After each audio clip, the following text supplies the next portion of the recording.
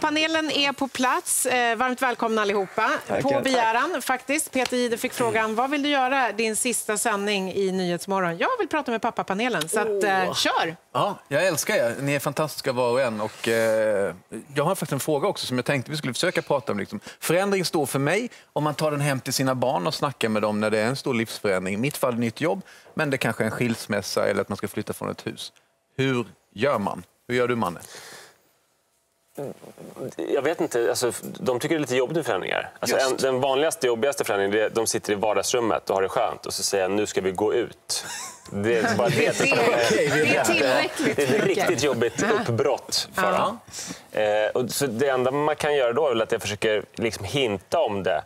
Eh, göra deras vardagsrumsstund kanske li, lite mindre mysig genom att med fem minuters intervaller säga så här, snart ska vi gå ut, snart ska vi gå ut. Och börja kanske lägga fram något klädesplagg eller så. Och så kanske man ska göra med andra förändringar också som kan vara större. Att man... Eh, att, att det inte kommer för plötsligt, utan man portionerar ut det lite grann och försöker liksom göra det begripligt. Lite som jag gjorde för dig.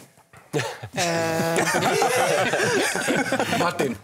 Ehm, nej men alltså, eh, för, det första, barn är inte dumma, barn fattar. Barn ser och märker om det håller på att hända någonting i livet som är, är, är föränderligt. Eh, ska man flytta så kommer barn förstå det, att det är någonting på gång när flyttkartongerna kommer. Liksom. Eh, så att jag håller med Manne, alltså börja liksom prata med barnet om det här försiktigt och liksom, mm, känn efter. Alla barn är unika. Men börja känna efter lite grann och sen portionera ut och ska man skiljas. Jag har ju berättat det vid två tillfällen då att man ska skiljas. Och det där är också där att, och där vill jag faktiskt ge ett seriöst bra tips här nu till alla föräldrar.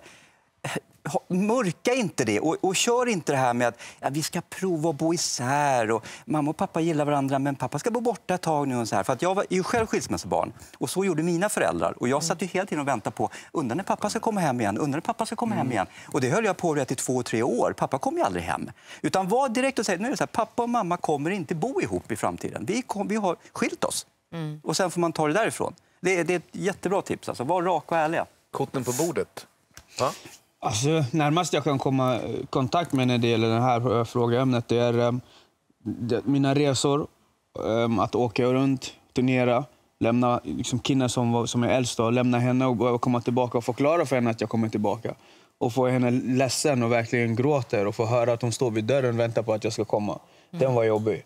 Och jag vet inte hur man ska förbereda det. Man försöker ju prata. Att jag försöker hela tiden säga vi ses sen och inte bara hej då.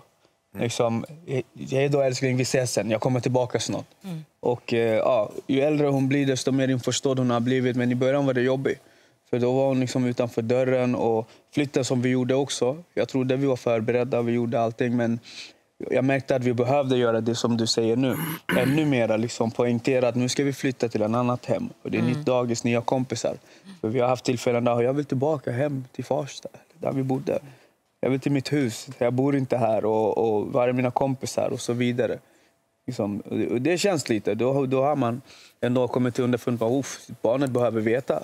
Liksom man kan, I sin stress som förälder så kan man glömma bort behovet att faktiskt ta sin tid och förklara för barnet och vara med. Eller kanske tro att äh, de behöver inte veta, de, är så Exakt. Mm. de hänger med på det som är. Liksom. Bingo, du har ju hanterat både separationer och flyttar och Ja, ja. allt möjligt. Nej, men jag, jag tycker väl någonstans så får man ju ta liksom barnens perspektiv så att man verkligen är mån om hur barnen uppfattar saker och ting. Det är väldigt lätt att man kanske tänker på sig själv och sitt eget. Så det, det tycker jag väl är väl nummer ett. Men när vi separerade, jag och Katrin, då blev det ju en ganska så smidig övergångsperiod. För vi, istället för att köra det här liksom varannan vecka så började vi liksom, vi gjorde väldigt, väldigt eh, eh, försiktigt. Vi, vi till, till och med, jag bodde ju i hennes lägenhet med barnen när vi liksom i någon slags, så, att, så att det inte blir det här uppbrottet för dem. Så då delade vi lägenheten nästan under en övergångsperiod. Och det märkte man. Då blev det ingen... Jag, jag tror barnen knappt har fattat att vi har separerat faktiskt. Alltså än idag. Det kanske är dags att ni då berättar det för dem, eller? Ja.